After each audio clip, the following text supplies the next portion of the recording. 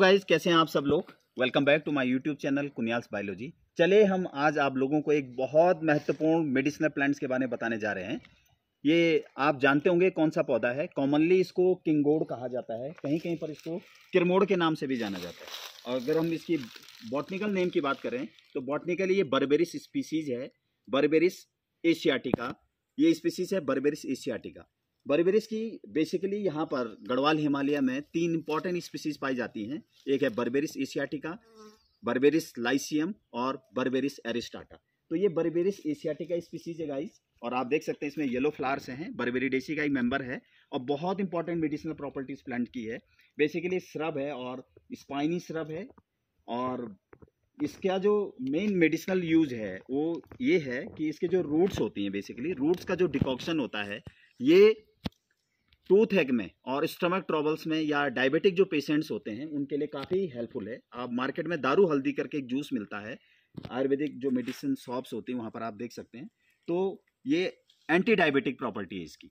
इसके अलावा जैसे कैटरेक्ट हो जाता है एनिमल्स में, उनकी आँखों में जैसे मोतियाबिंद बोलते हैं, उस तरह का जब एनिमल में आई कैटरेक्ट होता है, वहाँ पर भी इसको इस्तेमाल किया जाता है। यानी कि जो रूट का डिटॉक्स डिकॉक्शन है, उसको फ़िल्टर करके हम इसको कैटल्स के, इवन ह्यूमंस के आईज में भी इसको यूज़ कर सकते हैं। और इसके अलावा जिसके फ्रूट्स होते हैं, इसमें अभी देखिए अभी फ्लावरिंग स्टेज में है, और जब इसमें फ्रूट्स आएँगे तो ये फ्रूट्स का हम जैसे जूस, चटनी इस तरह से बना सकते हैं। तो वाइल्ड एडेबल फ्रूट्स है, और मिनरल और न्यूट्रिएंट्स हाई क्वांटिटी में और अच्छी क्वांटिटी के न्यूट्रिएंट्स इसमें अवेलेबल हैं, और एंटीऑक्सीडेंट प्रॉपर्टी भी इसकी।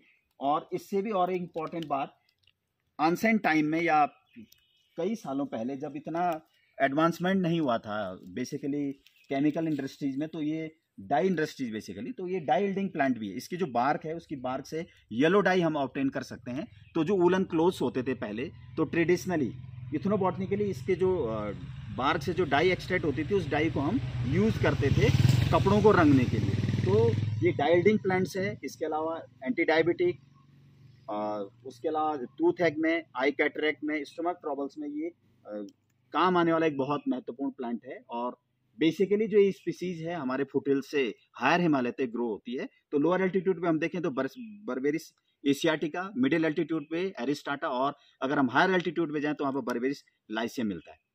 तो दोस्तों आज के इस वीडियो में हमने जाना बर्बेरिस के बारे में जिसकी मेडिसिनल इथनोमेट बॉटनिकल जो प्रॉपर्टीज़ थी उनके बारे में जाना हमने।